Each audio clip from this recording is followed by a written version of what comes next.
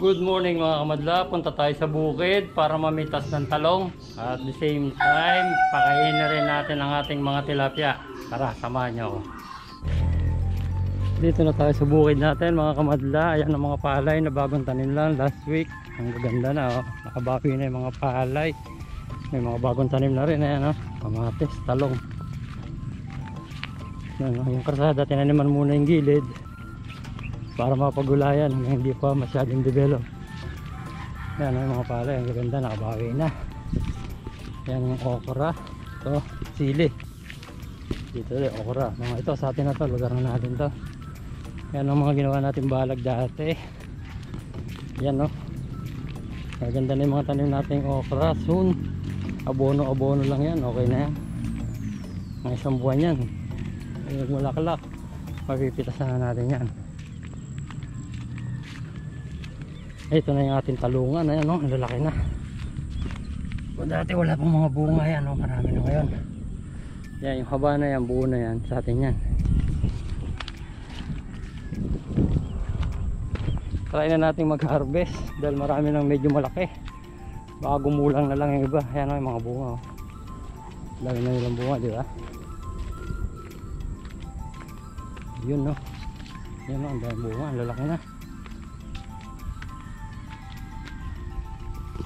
lalo dito oh. kung titingnan natin dito sa side kita nyo yung mga bunga na yan ano. Yan oh, dala dalawa ba't ang puno oh. ang dami na. Pero pipiliin lang natin yung malalaki. Yung malalaking talong. Ayaw natin pitasin yung maliliit para naman magsilaki pa. Kasi pag mag mga malalaki na yan kailangan natin dyan lutong torta. Yung lalagyan ng itlog meron ka lang dalawang talong na mahaba. Tap dalawang itlog o tatlong itlog. Kung mga anim, lima kayong tao makakain na kayo. Ayan o ang ganda ng talungan di ba? Tapos update ko na rin kayo. Dito naman sa mga kuha natin. Patola. Yan o mga patola. Yan gumagapang na o ang ginawa natin balag medyo patapos na. Itong portion naman na to kalahati upo naman ang tanim natin ayan, oh. ang ganda ng upo no? Yan no? Meron nang kuha na yun buko. Yan, ay bunga na yan pag lumaki. Gumagapang na rin sila dyan sa balag sa itaas. So puno na yan. Yan ang mga tanim nating gulay. Ay mga upo oh. galing no? Hindi na sikat ang araw. Yan ang gusto ng mga halaman yung mainit na mainit. Yan oh. Yun ang mga talong. Ganda.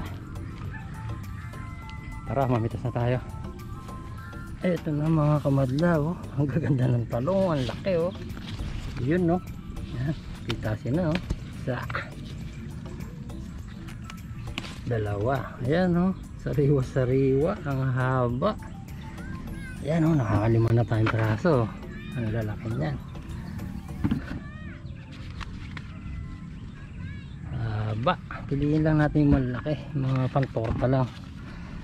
Para sa susunod na pa tayo makuha. Halos puno may bunga oh. Ayan oh. Ang lalaki ng talong sulit na sulit yung pagod natin dyan. Sama natin si nanay madlang nagtanim dyan tapos abono abono lang. Gambul gambul linis linis. Yun no yan ang merong maninira na oh. Kailangan ma-spray. Yan no gaganda ng mga talong oh. Nahaba ng talong. Piliin lang natin yung mga lalaki.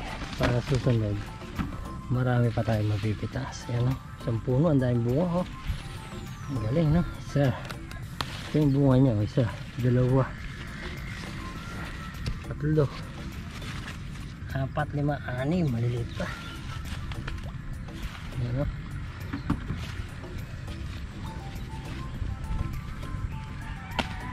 Ang ganda ng talong. Hindi tayo nakapagdala ng gunting para hindi masaktan sana. Yun dahil bunga ayun o dahil bulaklak mga bago pa lang.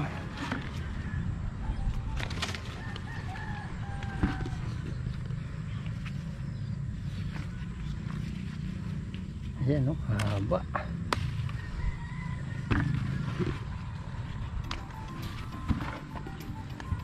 Dami na natin ang pitas.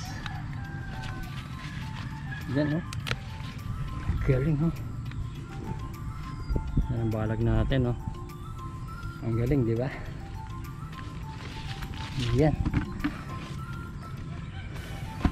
Ito na mga kamadla, natapos na natin ang pagpapitas ng talong. Bilangin natin kung nakilan tayo. First time tayo mag-harvest, nakarami na rin tayo. Isa, dalawa, tatlo, apat, lima, anim, pito, walo, siyam, sampul, labing isa, labing dalawa, labing tatlo. Labing apat, itong baloktot. Pero tingnan nyo naman. Labing apat na napitas natin, ang dami pa. Oh. Pinili lang natin yung malalaki para pang torta. Sunod, mga pangalawa, pangatlong araw, pwede na naman pitasan yan. Okay, di ba? Yan ang ibig sabihin, pag may tinanim, may aanihin. Oh. Nandito tayo sa bukid ngayon, mga madla, upang pakainin ang ating mga tilapia. Update ko muna kayo, magto 2 weeks na siya dito sa atin mula nang binili.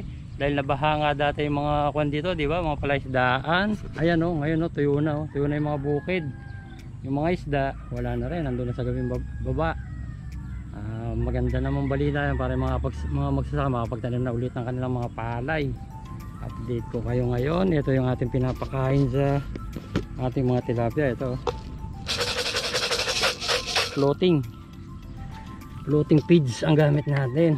Well medyo malalaki na sila. Ayan o correct me if I'm wrong kung ito ay tama para sa tilapia pero pantalapia talaga to. Kaya lang di tayo pa bihasa sa pag-iisda kaya kailangan pa natin ng tulong sa mga tunay na mga nagpipispan ang sa atin lang naman mini mini pala isdaan ayan no? Nakikita nyo ba mga kamadla? Ay mga talapia o nang kalitaw lahat ng, ng mga uso. Hindi natin pa sila malapitan kasi mga takot pa sila eh, hindi pa sila sanay. Pero kumakain na sila nitong kuha na to itong pagkain na to. Kaya natin sila. Yan no yan no floating floating feeds yan bigyan natin sila.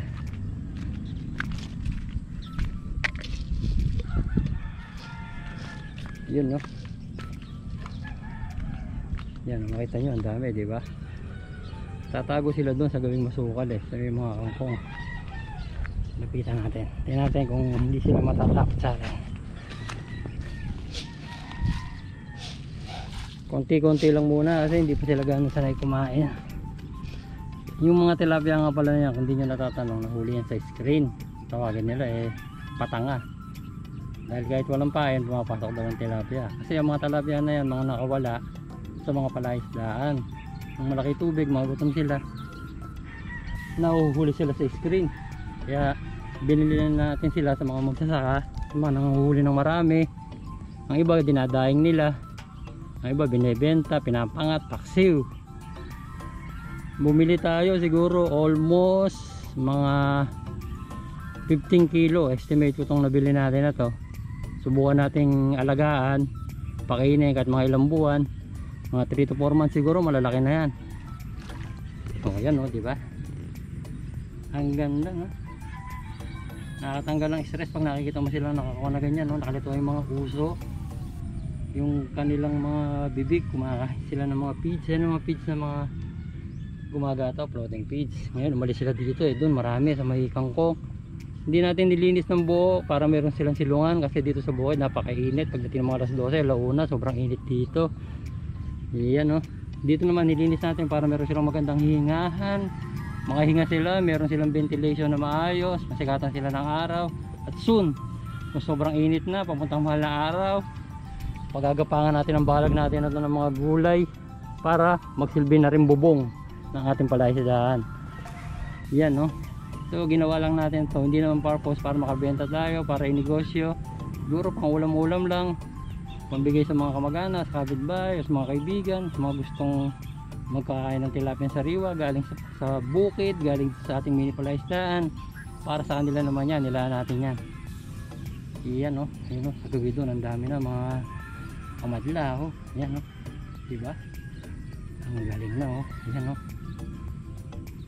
hindi natin sila malapitan ng todo eh. Kasi pag nilapitan natin magsisialis dahil di pa sila gano'n sanay sa tao.